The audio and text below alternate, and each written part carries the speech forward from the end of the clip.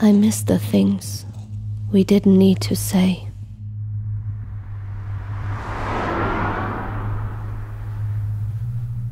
The listening to nothing.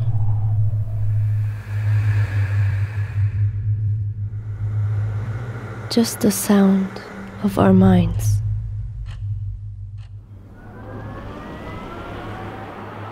There was a calmness in our souls. Like the quiet before the storm.